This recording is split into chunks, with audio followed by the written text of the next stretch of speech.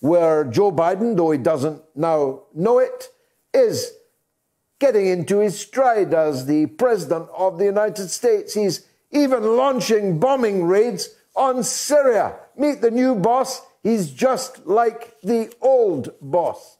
And he's threatening all kinds of horrors down the road for Russia and China. And all the fancy promises about rejoining the uh, Iran nuclear deal have all turned to ash in his mouth. There now will be no American rejoining the nuclear deal, not least because Joe just killed 22 Iranians in Syria in retaliation, he said, for pro Iranian Iraqi militias continuing to fire mainly harmless rockets at American military installations in a country they have been asked to leave by the sovereign parliament of Iraq and by the overwhelming majority of Iraqi people.